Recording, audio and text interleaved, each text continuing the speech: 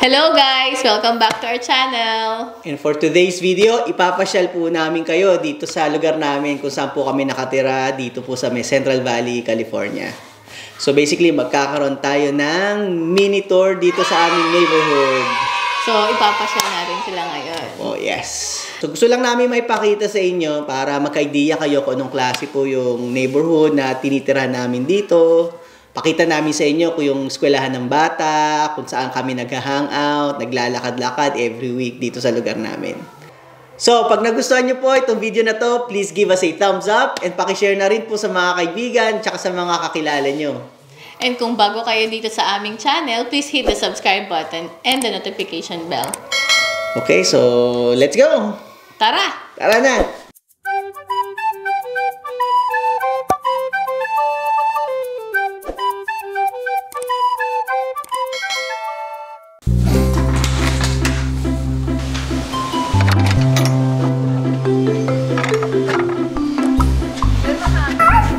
Okay guys, let's go!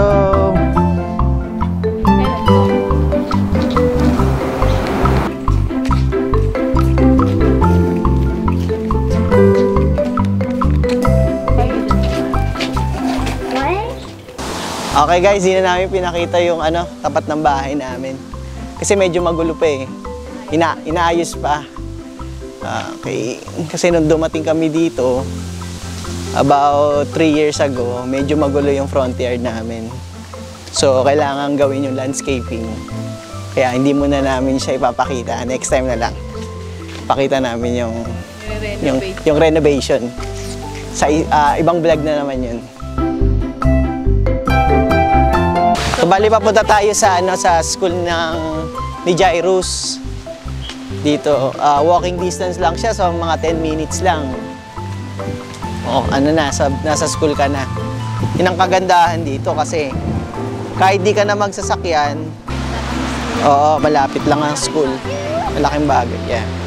Oo. Napakalakas nun ng hangin, oh. Oh my God. Normal na dito yan. Parang babagsak na yung mga puno.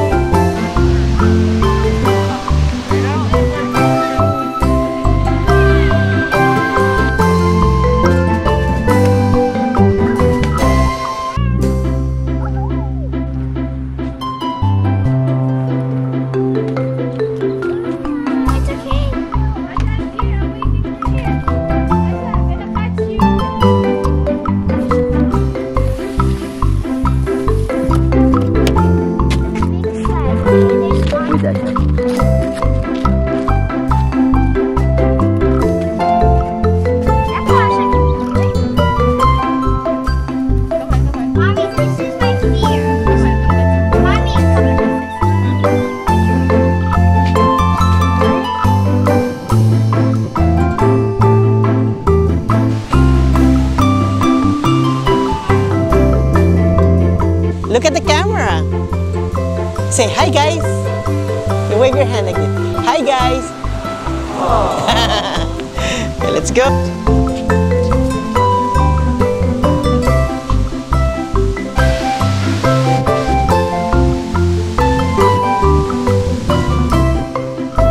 Dito na kami sa ano, sa creek. Meron kasi ditong ano eh, ah, trail. So kapag ano, pwede kayo maglakad-lakad, mag-jogging-jogging, maraming tao dito minsan. So maganda kasi, yeah, exercise. Naman naman tayo. Simula nung dumating kami dito, nanaanabaan na kami. Kaya minsan pupunta kami rito pag may oras, kasama yung mga bata. Pakita natin sa kanila.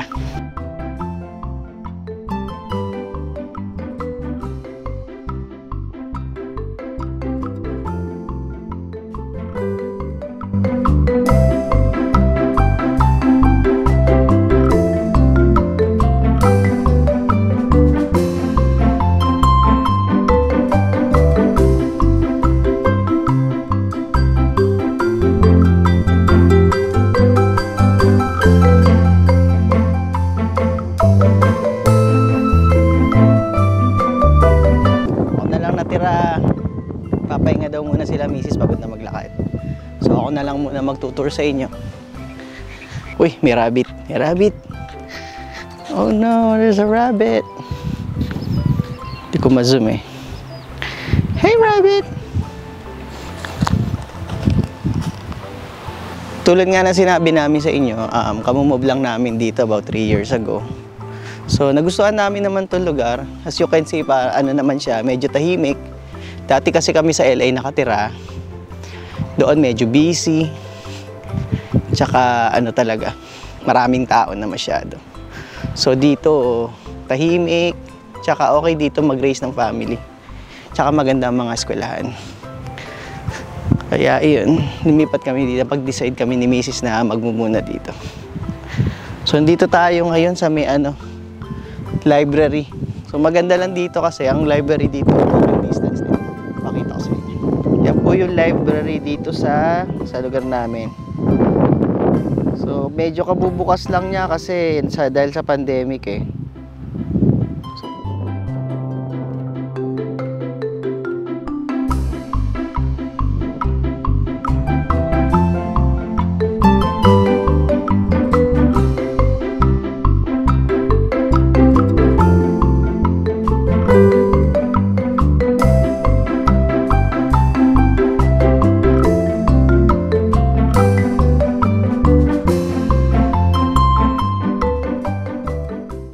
Medyo gabi na. Ah, mamaya kita-kita na lang tayo. 8.30 na. Uwi na rin kami kasi mga bata medyo pagod na rin ho.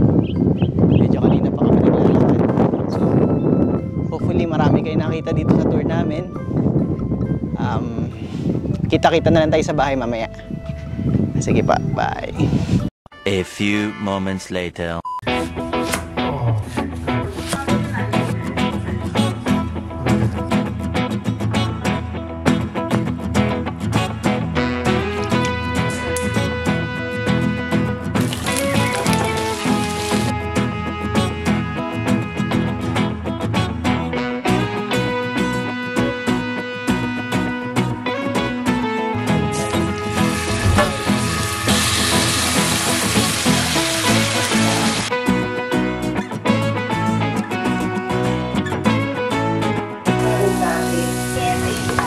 好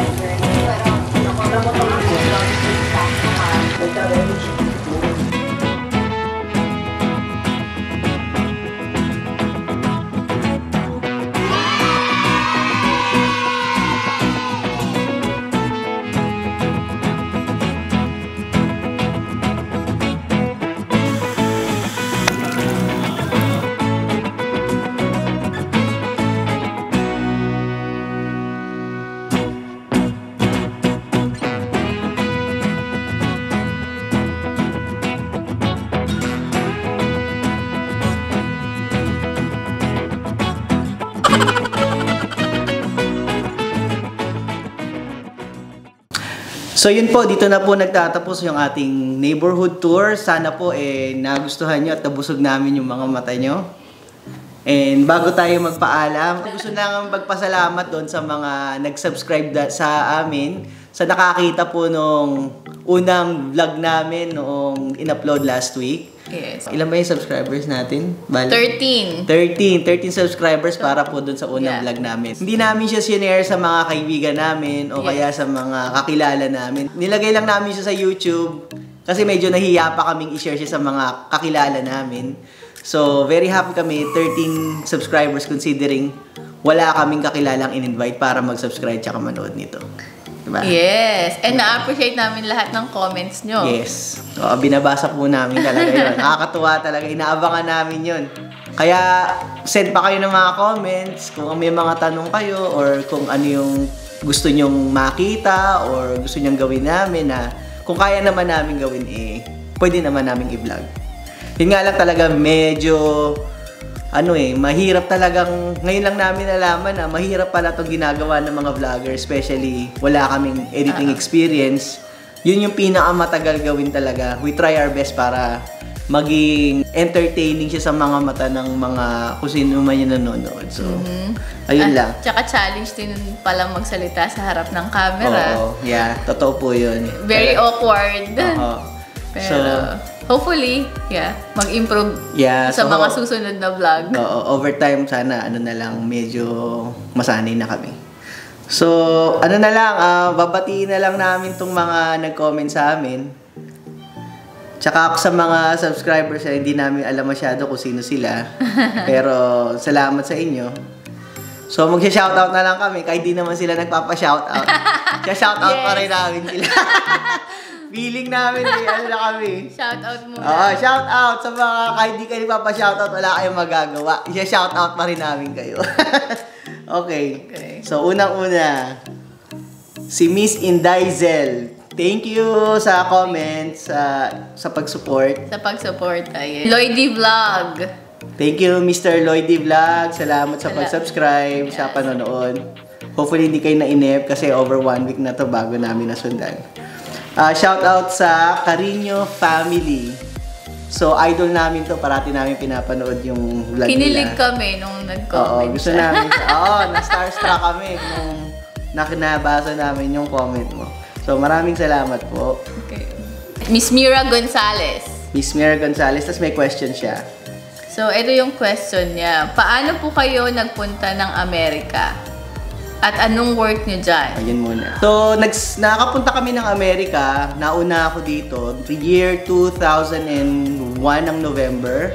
Bali, pinitisyo kami ng tatay ko. So, tatlo kami magkakapatid. Pumunta kami rito. So, I was in college no. Nagka-college ako sa Pilipinas. Tapos, na-receive namin yung petition paper. Tapos, nakarating kami dito ng 2001 ng November. So, that's how I got here sa US. Si Amy naman, Ako naman, pinitisyon ako ni Ah, Roland. So, 10 years Yes. after nandito kami, mga 10 years siguro, no? 10 2001. years. Or 2000. mga 9, 10 years after. So, high school sweethearts kami noon. Tapos, um, yun, after about 9, 10 years, ah awa ng Diyos naman, di naman siya naghanap ng iba. Di ba? Oo. Ewan sa'yo. Oo, yun lang naman. Maswerte ka. Ang dami mo yatang sagot. Oo, yun lang. So, isa pang question ni Miss Mira Gonzalez ay, who's, ano ang work namin dito? So, ako, nagtatrabaho ako sa isang ospital. Isa akong healthcare worker. So, So, ako naman ay sa opisina, ah, sa finance department ako. yan, yun po ang mga trabaho namin. At isa pang question niya is, who takes care of your kids if you guys are working? Sa trabaho ko naman kasi ah, very flexible yung schedule namin. So, nakakagawa ako ng sarili kong schedule na aprobahan naman. So, kung ano yung pasok ni Mrs. na kailangan niyang pasukan, yun yung dine-day off ko. So, ganun namin hinahati yung pag-aalaga sa bata. Yeah. Shout out kay Miss Victoria Maraya. So, isa sa, sa mga bagong subscriber, maraming salamat po sa pagsasubscribe ninyo. Tsaka sa panonood. Ito pa, isa pa. Si Miss Jonalyn Delica. Jonalyn Delica, thank you po. Si Miss Lydia Pua ng Saudi Arabia. Maraming salamat po sa pagsasubscribe tsaka sa panonood po. Tsaka doon po sa ibang nag-subscribe, labintatlo po sila lahat. Maraming salamat po.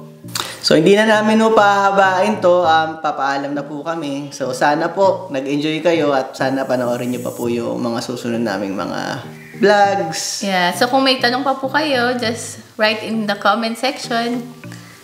Tsaka subscribe po. Tsaka i-share nyo na rin po sa mga kakilala nyo.